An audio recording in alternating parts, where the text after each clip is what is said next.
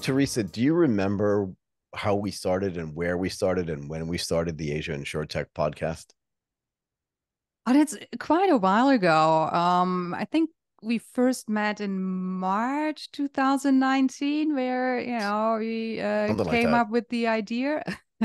Even though I think the initial idea was that I come onto the podcast and then I said like, "Hey, why don't we create a different show?" Because you were running the um, Asia Tech Asia podcast? Tech podcast. Yeah. Yes. Yes. Yes. And I remember you said that to me, and I remember thinking, okay, I'll do that. I have no idea what this is going to mean or what it's going to what it's going to turn into. But do you also remember the time frame that you gave us? Oh yeah, you know, um, I think I think we said we launched in first of May, and that was like mid March. So I just remember that's what it's like working with a German.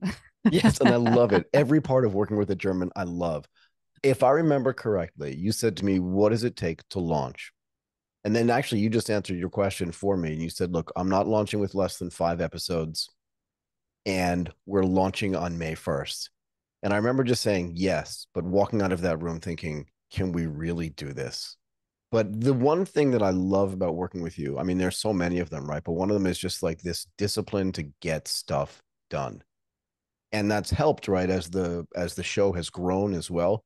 You know, at the beginning we had we didn't really have that many listeners and now we have listeners in over 170 countries and i think that kind of growth in just the four years that we've been doing this has been kind of amazing do you want to talk at all about what's growing around the asia InsurTech podcast as well particularly now that you're based in new york um yeah sure so you know we have with the Asia InsurTech podcast produced close to 300 episodes by now, I think, and um, actually are one of the largest podcasts not only in Asia but globally. And I think that's amazing, right? Like something that started here in Thailand, um, in Bangkok in, in 2019 has now grown into you know a global insurtech podcast. And um, in order to preserve the you know Asia InsurTech podcast, the brand and the focus on the Asian market, which I still think right. it's it's really important. And um, you know it is a platform to tell asia success stories to a global audience but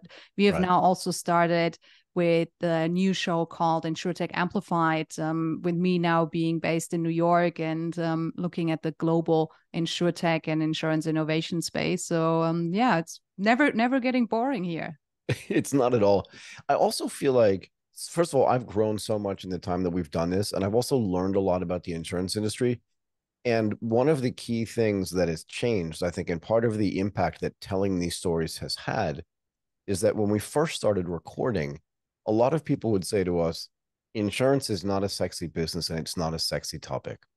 And now people just are coming out of the woodwork to want to not just talk about it, but be involved in it. All the platform companies, all of the payment companies, the insurers now work with the InsurTechs. Nobody talks about disruption. They just talk about enablement how has it changed in your mind from when we first started?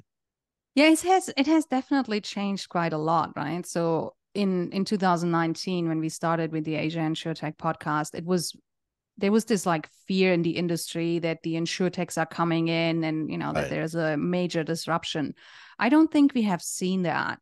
Um, but what we have definitely seen is a lot of inspiration and a lot of you know changes for the better of the whole industry not only the insurtechs exactly. but insurance yeah. incumbents realizing they can work with these new players they can you know deploy technology in completely new ways. And i think the industry as a whole has gotten better be- before it right? So i um, think so um, too.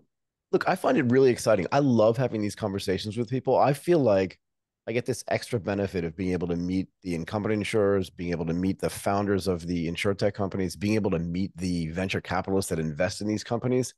I don't know. From my position, I feel like it's super, super lucky. And look, you're going to be at InsurTech Connect in Las Vegas. Just the stuff we get to do, I think, is amazing. And it's all an outgrowth of that conversation that we had for starting the InsurTech podcast. Sometimes I find it just truly amazing. Yeah. Yeah, no, no, absolutely. And um, yeah, also if we look at how the companies we had on the show have also like grown and developed over time, right? You sure. mentioned the first five episode, and one of these five episode was with um uh, Thanasak from FairDee. So he oh, has founded FairDee in Thailand, and later it was acquired by Qoala, was you know based in um in Indonesia. So That's I think, you know, it's great to see these evolvements and, you know, how actually a lot of Thai insurtechs have um, been acquired, have, you know, joined international teams. The other example is uh, Frank, um, started by, right. by Harpram Dua, right? Which has right. been acquired by Bolttech. And um, yeah, it's great to see these developments, how you know all these companies have evolved and how the industry has evolved over the past four years I, I could not agree with you more. And in a way, I sort of feel like we've been a part of it. And I feel like we've grown as well. Do you remember when we did the recording at that hotel? Was it on Sukhumvit Road? And we had one small microphone that we passed around the table. Do you remember that? Yes. And we actually turned that into like a proper episode. And now look at you, a fancy MV7 in front of you. We sound great. It's just, I feel like we've grown along with all the stuff that we've been doing. And I feel like that's super cool. Yeah. One last thing. Where do we go from here? Well, I mean, we we do continue with the Asia InsurTech podcast, as mentioned. Sure. I, you know, still strong believer we should have a dedicated platform for all the amazing things that are happening in Asia. Um, we are also running, as mentioned, the um, InsurTech Amplified um, podcast, and yeah, we are also working with a lot of different um, insurers, uh, conference organizers, and helping them with their like media and content strategy. Right exciting times ahead. Absolutely.